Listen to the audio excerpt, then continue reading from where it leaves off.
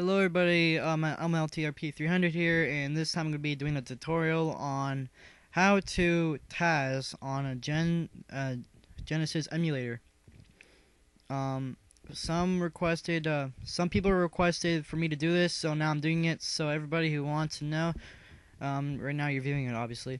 First off, you want to open your emulator. In this case, I'm going to be doing using Gens 11 SVN or Gens 11A, doesn't matter. Um, you have to have this emulator because this is the only emulator that records, you know, re yeah, records TAS. Anyways, you want to go to File.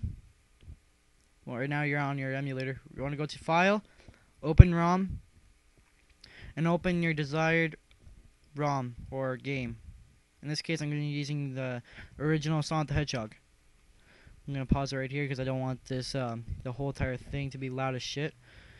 Um, next thing you want to do, you want to go to Tools, record movie, sorry, movie, then record new movie.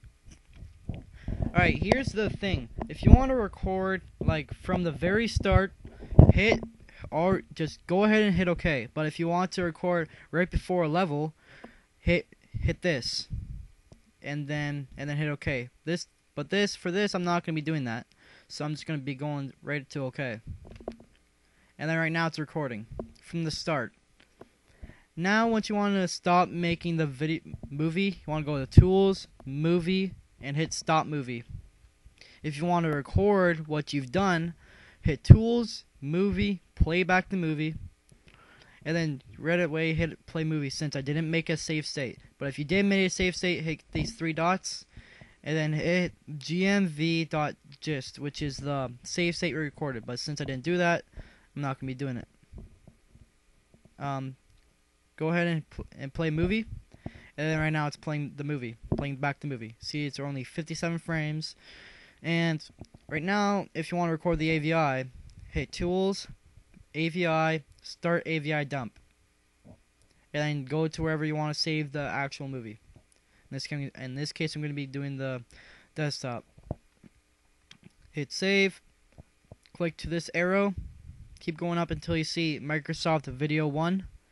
And then go all the way to 100. And then click OK. And then start. Right now it's recording the video. And once you want to stop recording the AVI, go to Tools, AVI, Stop the AVI Dump. Anyways, guys, I hope you guys liked this this tutorial. Um, stay tuned for the next TAS. See ya.